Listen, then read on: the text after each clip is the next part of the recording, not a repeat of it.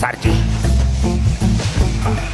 ਚੱਲ ਓਏ ਆ ਜਾ ਮਾਰ ਮਾਮਾ ਤੂੰ ਥੱਲੇ ਪੈਟਰੋਲ ਨੱਪਣ ਗਿਆ।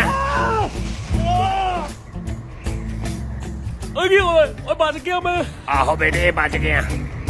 ਪਰ ਲੱਗਦਾ ਤੂੰ ਮੈਨੂੰ ਬਾਹਰ ਕਿੱਥੇ ਡੇਗਾ। ਮਰੇ ਮੈਨੂੰ ਮਾੜਾ ਮੋਟਾ ਗਾਣੇ ਦਾ ਵੀ ਸ਼ੌਕ ਸੀ ਕਿਹੜੇ ਬਰਫ ਵਾਲੇ ਇਲਾਕੇ 'ਚ ਭੇਜਤਾ ਮੈਨੂੰ। ਬੇਟਾ ਰਸ਼ੀਆ ਦੀ ਫੌਜ ਹੋਣ ਤੋਂ ਪਹਿਲੇ ਇੱਥੋਂ ਨਿਕਲੀਏ। ਸਾਡਾ ਉਹ ਜਹਾਜ਼ ਕਿੱਥੇ ਰੱਖਿਆ ਮੈਨੂੰ ਛੇਤੀ ਦੱਸ ਸਹੀ ਸਹੀ ਦੱਸ ਦੇ ਮੈਨੂੰ। ਹੈ।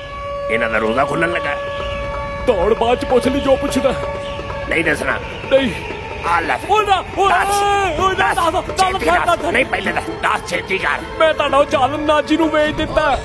ਠੀਕ। ਚੱਲ ਬੇਟਾ ਫਿਰ ਤੂੰ ਪੱਟ ਦੇ ਇੱਥੇ ਜੜਿਆ। ਤੈਨੂੰ ਹਲੇ ਪਤਾ ਨਹੀਂ ਮੇਰਾ। ਉੱਠ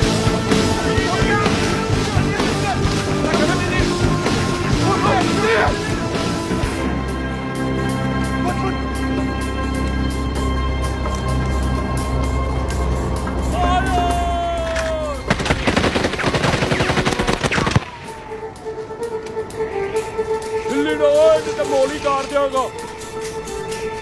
ਓਏ ਤੇ ਪੁਤਲਾ